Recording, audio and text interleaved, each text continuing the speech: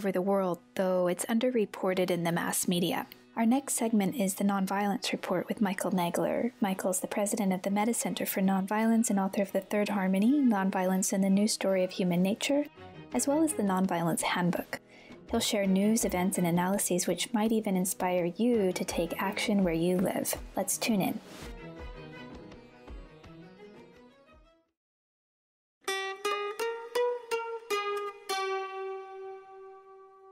Greetings, everyone. This is Michael Nagler. I'm back again with the Nonviolence Report, and with many thanks to Julia White, our researcher.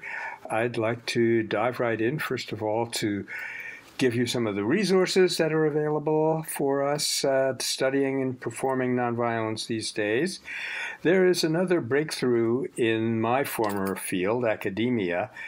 The University of Wisconsin Milwaukee is now offering a Master of Sustainable Peacebuilding, MSP, a new degree, and apparently offering this through the College of Nursing, which uh, I find some quite appropriate. now, going abroad for a minute, the Gandhi Peace Foundation in northern India is doing a South Asia premiere of our film, The Third Harmony, and that will take place on May 8th. And I think if you look for a Gandhi Peace Foundation in a town called Jalgaon, North India, uh, you can get their poster, which is very attractive. Back here in the States, Meta Peace Teams, uh, that's Meta with one T, our brother organization and sister organization in Detroit and Ann Arbor, has a great deal that's going on this spring. And here are just some of the events coming up. They're doing another presentation of the documentary In Peace We Trust, which features some of their own work. There's a training opportunity for members of uh, Pax Christi USA, uh, the National Catholic Peace Organization. There is a list of upcoming skills trainings that they'll be offering that are open to the public. An exciting webinar being offered by their own founder, Father Peter Dougherty, an opportunity for you to practice nonviolence de escalation skills.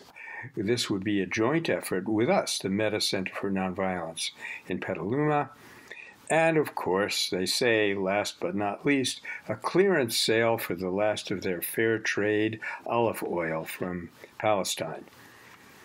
So that is Meta Peace Teams. Keep checking also Campaign Nonviolence. They also have a whole month of skill training workshops going on, which really put together all of those trainings constitutes a huge quantitative and qualitative advance uh, in the practice of nonviolence in the world.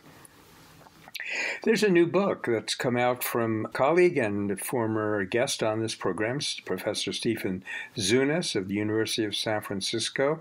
It's available online. It's a 44 page pamphlet and it talks about an exemplary success in nonviolence. The title of the book is Sudan's 2019 Revolution.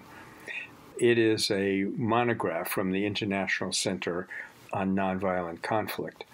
Here's one quote that Stephen offers The scenes of millions of Sudanese out on the streets during waves of protest over an eight month period in 2018 to 2019 demonstrate a triumph not just of the human spirit, but of some of the most brilliant strategic thinking by any social movement in history. I've started the pamphlet and it looks really very promising and very helpful. Now, uh, another colleague, a former director of uh, the Peace and Justice Studies Association, Professor Randall Amster, on May 3rd will be giving a talk on nonviolence that you can find at www period cpp period edu and slash Ahimsa Center. There's going to be also a virtual mobilization for a group called Children at the Border on May 8th and 9th, and allchildrenallborders.org will take you there. That's no spaces. Allchildrenallborders.org. Uh, one of the hot issues, as we'll see very shortly, is housing uh, in the nonviolent world today. And on May 12th and 13th, there's going to be a summit called the Housing Solution Summit, which is also online. This URL has dashes housing solution summit 2021. And finally, uh, coming from a group called On Earth Peace, org, there's going to be on the 15th, moving on into the middle of next month, a 90 minute introduction to Kingian nonviolence. That one I haven't checked out, but it, it uh, looks very promising.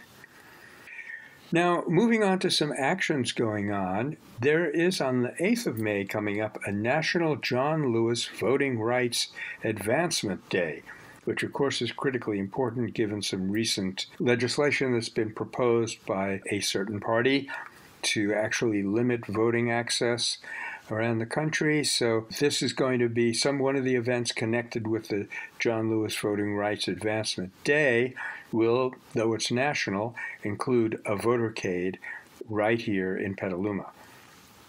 So now moving from the local to the global. In Berlin, the German Supreme Court recently repealed what they call the rent cap, the Berlin rent cap. The fear here is that it will result in huge rent increases, arrears payments, and actually poverty for hundreds of people.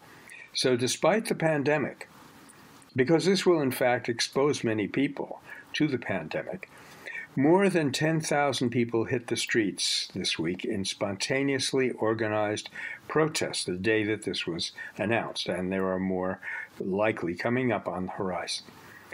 So, that term spontaneously organized protest should make us think immediately that we know what the next step is. It's towards that strategic thinking that Professor Zunes has laid out in his book on Sudan's revolution. Now, here's a good example of two things. Spectrum communication workers in New York have come together after one of the longest strikes in U.S. history. It went on for four years in hopes of gaining retirement, health care, and other benefits that were taken away from them. These workers decided, instead of asking for something from others, to create their own worker owned and democratically run internet service provider. It's called People's Choice Communications. So, this is a perfect example of timing. They didn't go to this action right away. They had a long, long strike in which they gave Spectrum the opportunity to respond to their demands. And then when that didn't happen, instead of just demanding more and more, they went back on their own resources. And when they did that, so there's two principles right there in nonviolence timing and constructive program. And as usual, when you do things in nonviolence, the things that you build are better than the alternatives that you were trying to get from others because this is going to be worker owned and democratically run. And it's the first such in the world. Speaking of firsts, we recently saw the first global scientist rebellion. Over a hundred scientists engaged in nonviolent direct action of one kind or another. The idea here was to help those who might not be taking climate change seriously to get some perspective the scientists are behaving as though climate change were an emergency, which it is. And they hosted teach ins in which, at various campuses, the normal syllabus was tossed aside and replaced with lessons on the climate crisis. And they're planning a second global scientist rebellion, that's their term, not mine, global scientist rebellion for June. Now, uh, down from 100 scientists to an individual, woman by the name of Diana Wilson, who was 72, and she's a retired shrimper, shrimp harvester, and she's already two weeks into a hunger strike. What she's trying to do is to get enough attention to her efforts that will pressure the Biden administration to stop a Houston based oil and gas firm, to stop their midstreams, is the name of the firm, to stop their plans to deepen and widen the Matagorda ship channel. They're planning to get this done by 2023. It would allow room for larger vessels to pass through and dramatically increase the export of oil, which already is a bad idea. Diana worries that it will also toxify the waters as the dredging would unearth mercury contamination from the Bay System's Alcoa Superfund site, and it would devastate local fisheries. So there's this intersectionality of climate and other issues and, and a dramatic action carried out by an individual, an elderly woman, Diana Wilson. Now, it could be that uh, her strike, her hunger strike, her fast uh, is not quite in line with all the requirements that Gandhi discovered in his career, but um, let's wish her the very best anyway.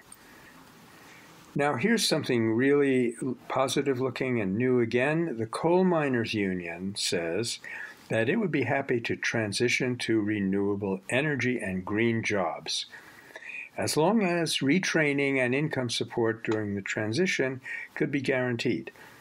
So, this is, a, again, a wonderful example of how construct a program can work and build something better than the previous uh, alternative. It shows that workers are not necessarily at all the stumbling block in getting off fossil fuels. That, that's important. I, I remember a friend of mine who was uh, at a protest in Maine. This is uh, Sherri Mitchell, whom we have also interviewed here. Uh, they were sitting around a campfire one night protesting oil extraction in a lake which was the only source of water for their community. And a trucker drove by. He was, you know, one of the truckers from the company that was trying to do this. So there's somebody that they were protesting. And he stopped the truck, came over to them, weeping, and said, I don't want to do this. I would do anything else, but I need to feed my family. So, what we've been talking about here are constructive ways to meet that very legitimate need without uh, lending our resources and our uh, efforts to other people's work and destroying the climate in the process. So, just one other thing that I'll share with you this week, though there is, of course, a very great deal going on. This is in Sudan, in Bentiu. I believe this is South Sudan, where the Nonviolent Peace Force has been very active. And you can, of course, see some of that in our film. Very dramatic episode of the Nonviolent Peace Force work in South Sudan occurs in our film. And one of the things that NP has been doing is promoting women protection teams, and now many women are taking that up. So, again, this is a good example of how a third party goes in, innovates something, lends resources to it, and then the people on the ground can take it up and do it themselves. So these uh, women protection teams are nonviolent, unarmed, civilian led teams. They work uh, often in collaboration with each other and they travel with each other to fetch resources. The importance here is that this prevents sexual and domestic violence, which had become an increasingly big problem in recent years. At one point, they had 150 incidents reported to them in 10 days. So that is what I wanted to share with you for this week. Please stay with us as the nonviolence world continues to expand in wonderful ways. And until then, take care of one another, as Stephanie Van Hook would say. Thank you.